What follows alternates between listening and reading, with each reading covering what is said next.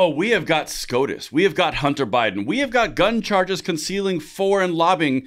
Oh, you guys are going to love this episode of Second Legacy. Make sure you guys hit that like button, subscribe to the channel, and turn the notification bell on. But before we get going into all the shenanigans we're going to break down, Tim, mm-hmm. how are you? Are you excited? I'm ready. I'm I, ready for this this week. I am. Yep. I agree. You really sold that thing. All right. Well, you remember, you know, pre-show we're talking about it's going to be one of those episodes, right? I'm like, yes, it, it is. is. It is. It is. Tim's in special form this fine morning.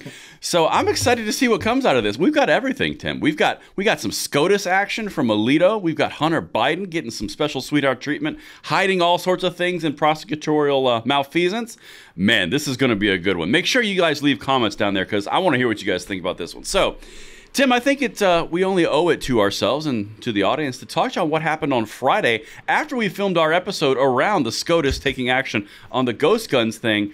They came down pretty quick. Alito was uh, was on it. He must have been like waiting in his office, ready, like with a pen or something. Yeah. It's so man. Typical. He moved fast on that one. Do a video and predict, yeah, they're probably going to drag this one out, and then they actually yeah. come out like a few hours later and go, oh yeah, we got something for you guys. yeah, like they, they break new record time. it's like, oh, well, thanks, Sam. Yeah, that's awesome. All right, well, let's go you know, post another video first. it's like, like, well, let's post the other video, and I guess we'll catch up on Monday. So basically, where we're at right now is they actually I mean, Samuel Alito, who this is in his district, it's his it's his responsibility. He came down and he did a few things here, and that's not the main point of this video, but just to keep you catch you guys up. He came down and said, "You know what? We're going to grant that stay until August 4th. So that's this coming Friday, right?" And then he said, "Oh, and by the way, on Wednesday, I want all the counter arguments to the ATF's plea. You know that whole bicycles or or uh, firearms because they don't have pedals on them. You know that whole that whole shindig." Um, so I, am intrigued. I'll be honest with you, Tim. When I read this and I saw how fast they came down, I was like, "Whoa, wait a minute!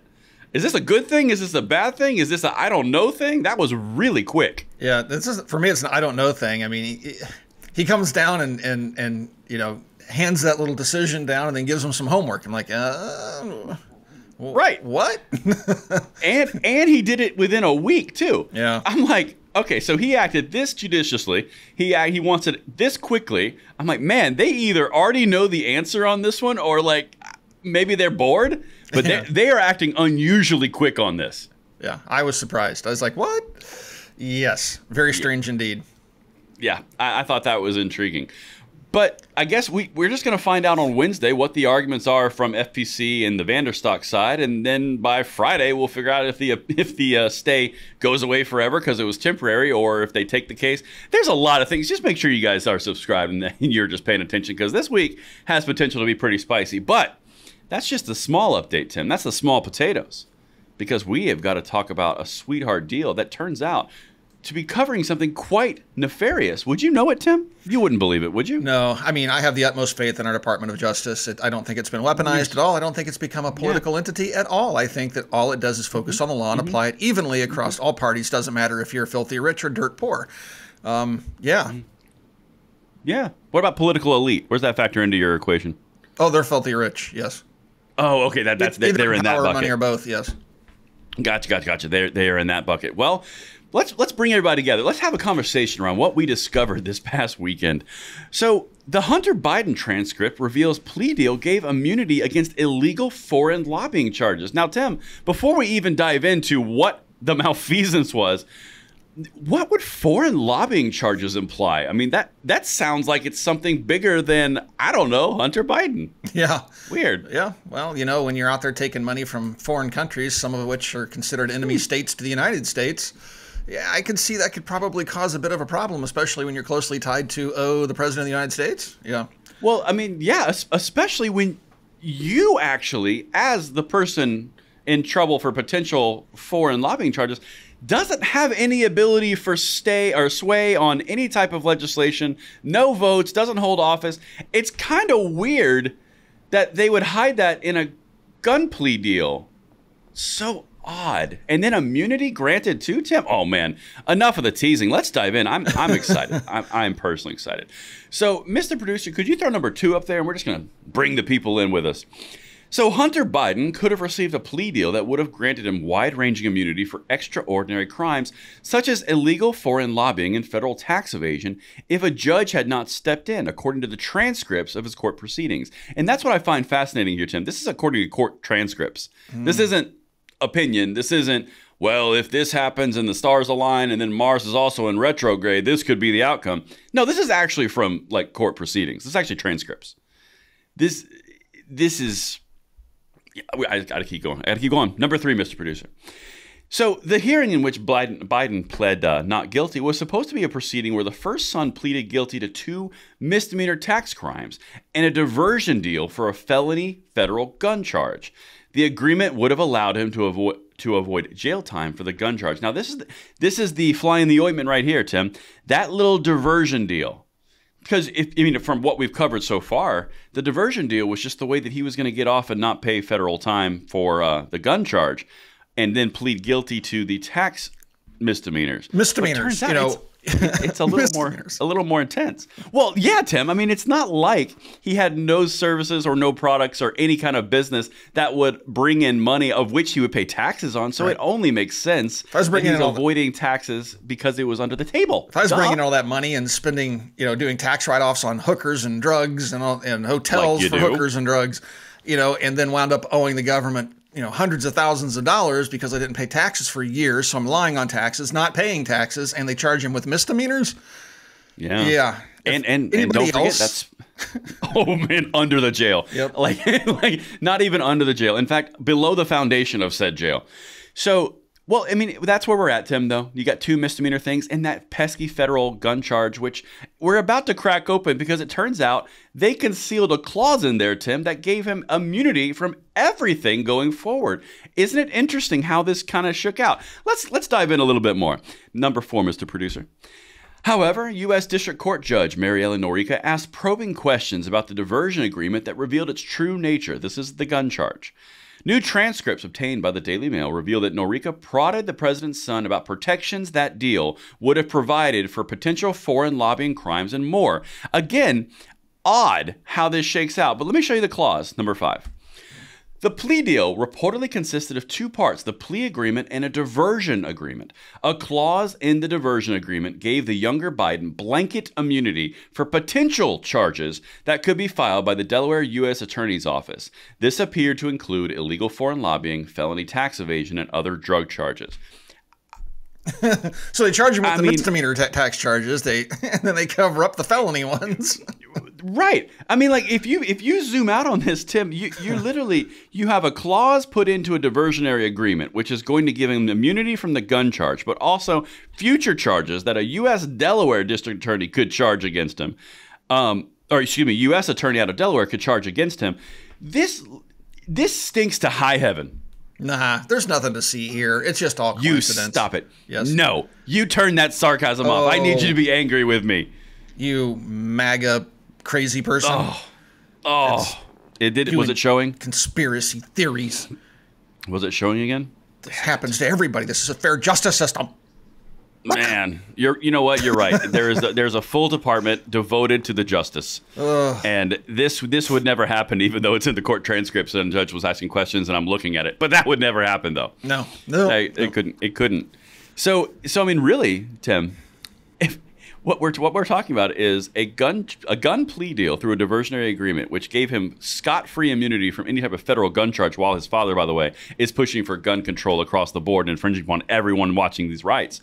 Um, and then inside that, as a little cherry on top, completely unrelated to anything presidential or nominee or Democratic Party or anything on a political geopolitical scale, um, they put in immunity from anything in the future about lobbying charges, of which, by the way, this, the subject here doesn't have any ability to pull any strings. I'm sure this is only about Hunter. Yeah. oh yeah, absolutely. A guy actually not in government, just uh, raking in buckets uh-huh. of money for a guy in government. exactly, exactly. So, I mean, like, what do you think here, Tim? Eh, I mean, I think I think this this is just a big smokescreen. This is clearly something that's just meant uh, as a Republican ploy.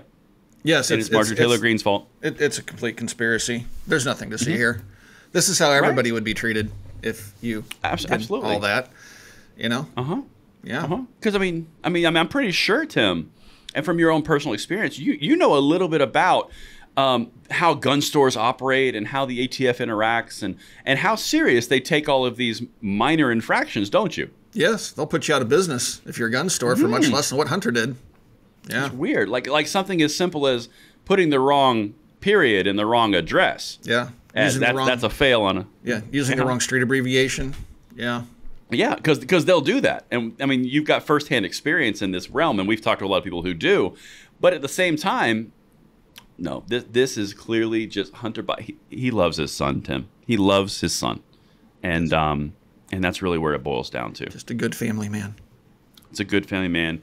Uh, oh, by the way, I heard he uh, acknowledged his seventh grandchild this weekend. That's exciting news. Sort of. Um, The press secretary released a statement that kind of sort of said, yeah, she's there. kind of medium. you know, uh, you know what? Like, you wonder why these people. Well, no, that would be a that that's withdrawn. Strike that from the record, Your Honor. just, just strike where I was going. That wasn't going to work out very well. But you know what? Maybe maybe we're just being unfair to Hunter Biden, Tim. Maybe we're just being those mean old MAGA people. You know. Letting our MAGA bias get in the way. So, why don't we hear what Mr. Biden had to say? Hunter Biden, uh, the son, the first son, the 53 year old child man. All right, let's get it. This is number six, Mr. Producer. This is the judge asking him a question. If you had no immunity from the government, perhaps even a different prosecutor, and the government could bring a felony tax evasion charge or judge charges against you, would you still enter the plea agreement and plead guilty to these tax charges? The judge asked. Number seven. No, Your Honor, Biden replied. Th- th- this is one of my favorite things about this entire scenario. The judge reiterates herself, and she goes, Just so I understand, the judge continued, you would not agree to that plea agreement if you didn't get some immunity from other charges. Is that right? The attorney pipes up and goes, Speaking for my client, that's correct, Your Honor. The judge describes the deal as including non standard terms like the broad immunity and said she is not convinced that it's actually a plea. No! This judge is on it, Tim. I mean, like, rare. You, do you know how much experience and age and years of wisdom you have to be able to discern what's going on here? I mean, you can't just see this from the high level as a person on the street. You need you need district court level experience. That's what you need. Yeah. She better get some really good security. oh no! Don't be like that, Tim. Yeah. Because it, this this is the Department of Justice. They they it's an entire department.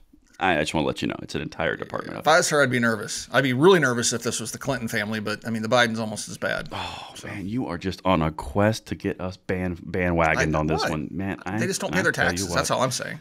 Oh, you know what? You know what? You're right. Let's get the misdemeanors going. uh, I'm pretty sure there are 27 missing tax documents.